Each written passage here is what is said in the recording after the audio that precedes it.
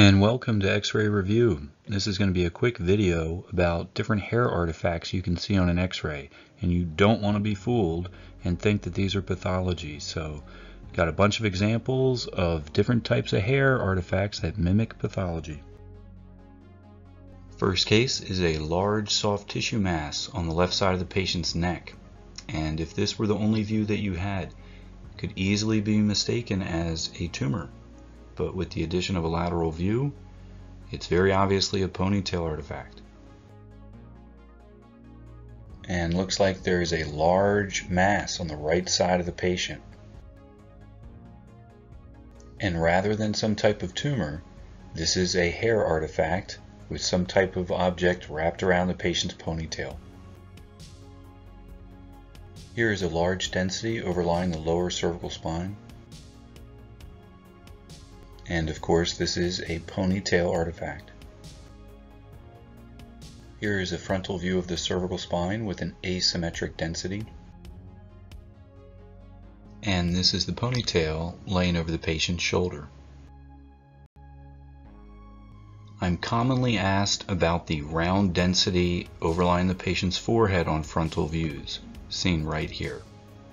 Now, while it is possible to have uh, benign tumors like an osteoma, it will not present like a perfect round circle right in the area of a patient's ponytail. So correlate clinically, but when you see these white densities, big round circle overlying the patient's head, it's just a ponytail artifact. It's nothing else. Another example of a large round ponytail artifact.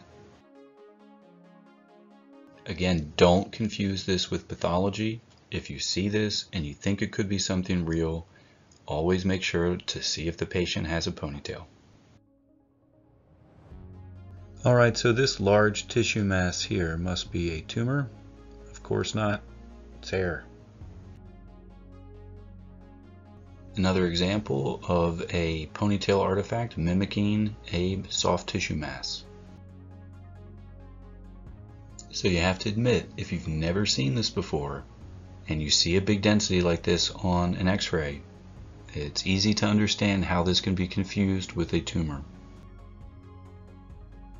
Sometimes prominent hair artifacts can get in the way of the anatomy that you'd like to see, like on this cervical view. And if this is the case, you have to pull the hair out of the way and reshoot the x-ray. This is another commonly asked question I get in regards to something overlying the lungs. And it looks like a density here. But this time, rather than zoom in, we're going to zoom out. And now it becomes pretty obvious that what we're looking at is actually just another ponytail artifact. In this example, we can see prominent hair artifacts that are showing up on the images.